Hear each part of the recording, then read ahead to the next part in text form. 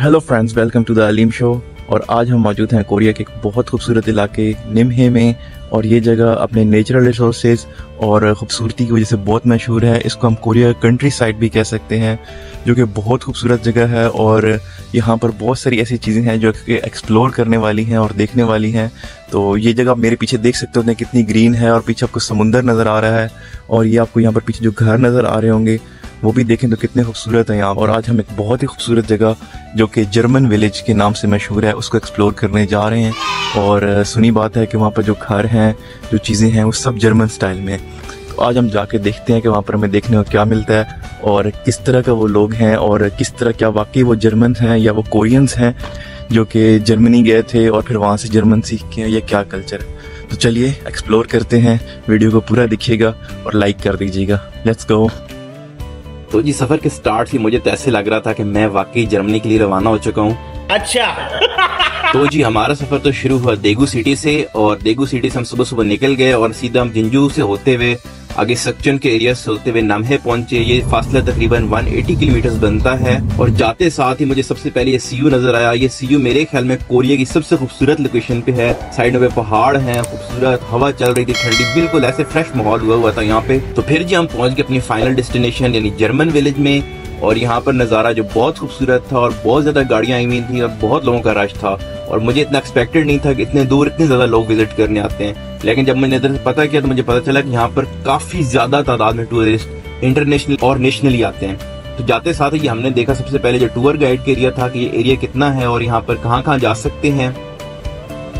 आप यहाँ पे देख सकते हैं कितने सारे कंट्रीज़ के फ्लैग्स लगे हुए हैं, यहाँ पर लोग आते हैं और ये देखे पार्किंग बिल्कुल फुल हो चुकी है और ये भी सुबह सुबह का टाइम है। और लोग जो है वो दूर दराज से आ चुके हैं यहाँ पे ना, दिन गुजारने के लिए, अपने दोस्तों के साथ फैमिलीज़ के साथ। और अक्सर मैंने फैमिलीज़ देखी हुई थी कपल्स थे और मतलब लोग रिलेटिव्स के साथ आए हुए थे घूमने के लिए। तो जी हम एंटर होने लगे हैं जर्मन विलेज में और यहाँ से आप देखें कि इसका गेट ही कितना खूबसूरत उन्होंने बनाया हुआ है। बिल्कुल जैसे यूरोपियन स्टाइल है। और आपको यहाँ पर वाकई आके लगेगा कि ये वर्क टू विज़िट है और बिल्कुल ऐसे लगेगा वाकई किसी दूसरी जगह का विज़िट कर रहे हैं। ये नहीं लगेगा कि आप बिल्कुल कोरिया में हैं, बल्कि आपको लगेगा कि आप कोरिया से निकल आए और किसी दूसरे इलाके, किसी दूसरे मुल्क में और आप यहाँ पर देखें, चारों तरफ़ अगर आप देखें तो बिल्कुल हर चीज़ जो है प्रॉपरली अरेंज और प्रॉपरली कंस्ट्रक्ट की गई है। और कंस्ट्रक्शन के दौरान जो है जर्मन कल्चर को खसूसी तौर पर फोकस किया गया है।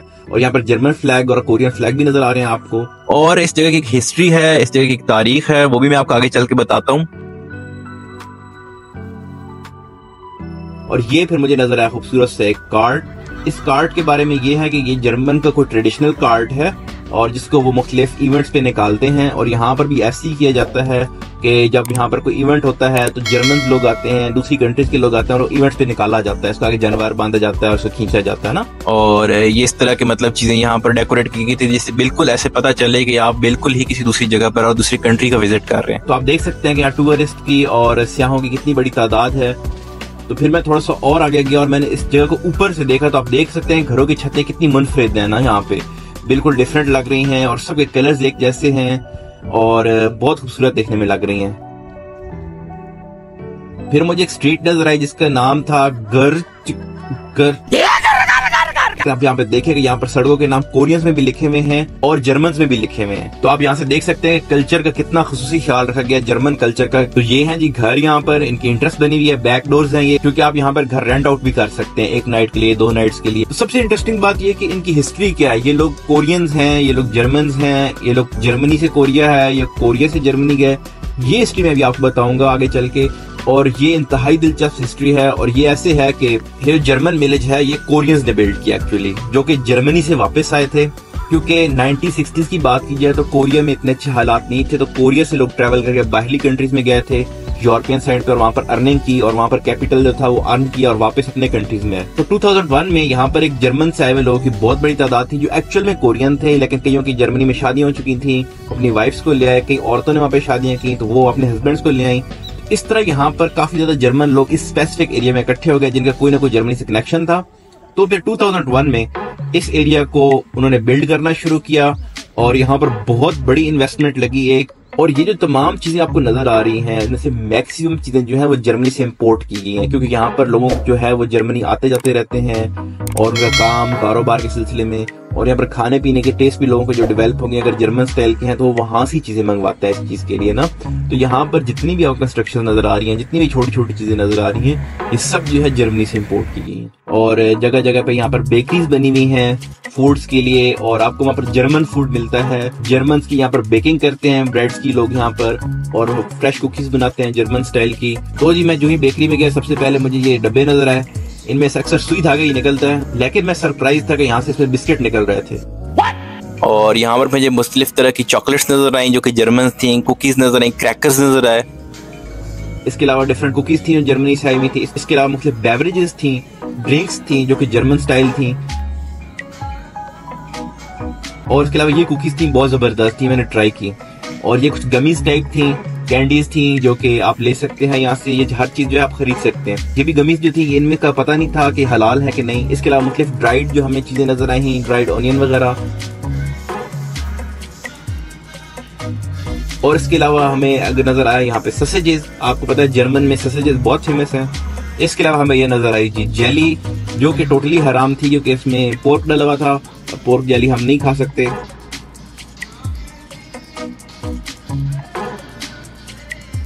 तो फिर मुझे मेपल लीफ सिरप नज़र आया और मुख्तलिफ़ यहाँ पर चीज़ें रखी हुई थी। फिर मुझे एक चीज़ नज़र आई जो कि मुझे टूथपेस्ट की तरह लग रही थी। तो मैंने फिर इस बेकरी के मालिक से बात की। मैंने कहा ये टूथपेस्ट है तो टूथपेस्ट में नमक है क्या? क्या आपकी टूथपेस्ट में नमक है? तो उसने मुझे कहा कि चल नस जा तू। तू कितों आ गए कौन है ये लोग? ये जर्मन स्टाइल के मायोनीज और जैम्स हैं जो कि इस तरीके से पैक करके दिए जाते हैं और ये इजीली आप ब्रेड के ऊपर और दूसरी चीज़ पर लगा सकते हैं। फिर मुझे गोल गोल सी चीज़ नज़र आई। मैंने लगा शायद कुछ सीनियर है। घर ले जाके इसको दीवार पे लटका दूँगा। तो बाद में पता चला कि प्रिटजल है, जर्मनी की बहुत मशहूर ब्रेड है, और यहाँ पर डिफरेंट फ्लेवर्स में ये अवेलेबल थे। नमकीन भी, मीठे भी जैम्स के साथ और रोजमेरी के साथ, और ये बहुत मज़े के थे खाने में।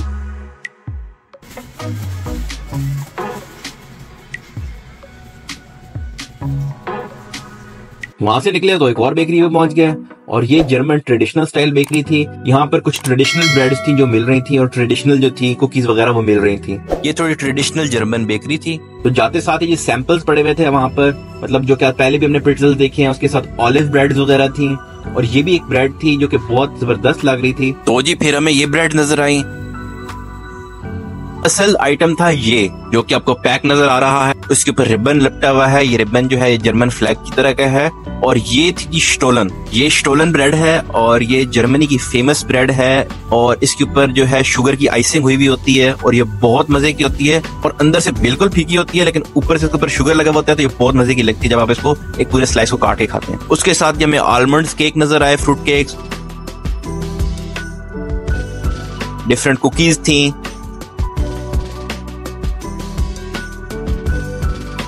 और मजीद प्रेटजल नज़र आए और ये लंबी लंबी ब्रेड थी, ये भी मैंने ली थी, यहाँ से बहुत मज़े की थी। इसके अलावा डिफरेंट तरह की और छोटी ब्रेड थी कुकीज थी, उनके ऊपर नट्स लगे हुए थे डिफरेंट चीज़ें लगी हुई थी। और फिर इस बेकरी में मुझे नज़र आई ये स्वीनियर्स जो कि पड़े हुए थे यहाँ पर, बहुत ज़्यादा तादाद में प्लेट्स कप से सब जर्मनी से आए हुए थे, उनके ऊपर मेड इन जर्मनी लिखा हुआ था। तो फिर जी हम निकल गए वॉक करने यहाँ पे और हमने यहाँ पर सड़कों पे घूमना शुरू कर दिया और जो लोग यहाँ पर रह रहे थे, उनका लाइफ देखा। हमने डिफरेंट कैफेज देखे। तो आप देखें कितनी खूबसूरती से बिल्डिंग्स को कंस्ट्रक्ट किया गया है। और एक एक चीज़ का ख्याल रखा गया है, एक एक डिटेल का ख्याल रखा गया है और मुझे इस विलेज की सबसे ज़्यादा जो चीज़ पसंद आई, वो उसकी यहाँ की सफ़ाई थी और क्लीननेस बहुत ज़्यादा थी। हर चीज़ को प्रॉपरली मैनेज किया गया था और टूरिस्ट के साथ, ये नहीं कि टूरिस्ट के साथ कोई हुल्लड़बाजी, कुछ हो रहा हो, हर बंदा पीसफुली आ रहा था एंजॉय कर रहा था। तो इसी अट्रैक्शन के लिए पूरे कोरिया से लोग यहाँ पर आते हैं और मुझे तो यकीन माने, मुझे बहुत मज़ा आ रहा था यहाँ पर आके। और इन गलियों में चलना और इनमें वॉक करना इतना मज़े का लग रहा था, इसकी बिल्कुल वाइब ही अलग थी। और फिर जी मुझे यहाँ पर एक आर्ट शॉप नज़र आई। यहाँ पर मुख्तलिफ़ तरह के जर्मन स्टाइल कार्टून और आइटम्स बेचे जा रहे थे। वहाँ से हम आगे निकले तो फिर हम पहुँच के इस भाई के पास। इसके पास आइसक्रीम थी जो बहुत अलग क्वालिटी की थी और उसके साथ साथ ये ससेजेस बेच रहा था। और जगह जगह पे यहाँ पे जर्मन और कोरियन कल्चर का इम्तजाज नज़र आता है। और ऐसे लगता है कि आप वाकई ही किसी दूसरे मुल्क में आ गए हैं और ये बहुत ज़बरदस्त फीलिंग थी यहाँ पर आके मुझे इस जगह में जो सबसे स्पेशल चीज़ मुझे लगी, ये सबके लिए फ्रीली ओपन था। और उसके साथ जी हम जब वापस निकले तो हमें एक बंदे ने कहा कि यार नमहे की एक बेकरी है, वहाँ से एक बहुत ज़बरदस्त चीज़ मिलती है, जो कि छोटे छोटे केक्स होते हैं तो वो आप ज़रूर ट्राई कीजिएगा जाते हुए। और उसके बाद ये हमारा वापसी का सफ़र शुरू हुआ। मैं उम्मीद करता हूँ कि आपको ये ब्लॉग पसंद आया होगा और आपने भी जर्मन विलेज को एंजॉय किया होगा। तो अगर आपको ये वीडियो पसंद आई तो लाइक करें शेयर करें और कमेंट करें और सब्सक्राइब करें। और अपना और इर्द गिर्द के लोगों का ख्याल रखें। ओके जी, अल्लाह हाफिज, बाय बाय।